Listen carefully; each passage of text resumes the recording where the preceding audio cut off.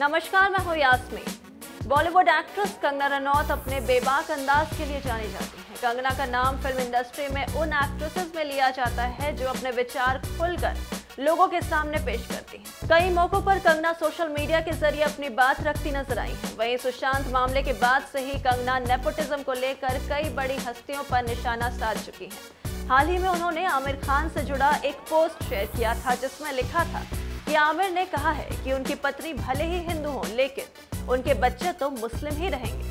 हालाँकि बाद में बताया गया था कि कंगना ने फेक न्यूज़ शेयर कर आमिर पर तंज कसा है, जिसे लेकर कंगना कुछ लोगों के निशाने पर आ गई थी। लेकिन जैसे ही इस मामले को लेकर स्वरा ने कंगना को घेरने की कोशिश की तो स्वरा भास्कर पर कंगना के फैंस को गुस्सा आ गया और कुछ लोगों ने स्वरा को ट्रोल कर डाला।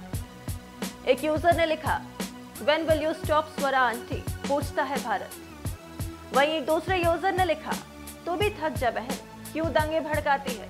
अपना काम करो ईमानदारी से। लेकिन अब अपने काम में भी कॉपी पेस्ट करने लग गई हो। क्यों ज़बरदस्ती रानी मुखर्जी बनने की कोशिश कर रही नहीं जच रहा है।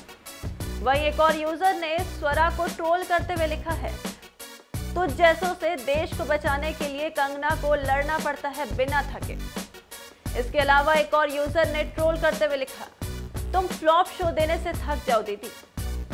बता दें कि स्वरा ने ट्विटर पर एक न्यूज़ आर्टिकल जो कि कंगना से रिलेटेड है और उसमें बताया गया है कि कंगना ने आमिर को लेकर फेक न्यूज़ बताई है। उस पर कमेंट करते हुए लिखा था, थक जा बहन। यही वजह है कि अब स्वरा के इसी कमेंट पर लोगों ने उनकी बैंड बजा दी।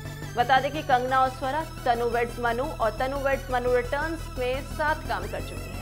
वहीं हाल ही में नेपोटिज्म की बहस के बीच कंगना ने स्वरा को बी ग्रेड एक्ट्रेस बताया था, जिसके बाद स्वरा ने भी कंगना को खूब लताड़ लगाई थी। लेकिन जिस तरह पहले कंगना से पंगा लेकर स्वरा ट्रोल हो गई थी, उसी तरह एक बार फिर स्वरा को कंगना से पंगा लेना भारी पड़ गया है।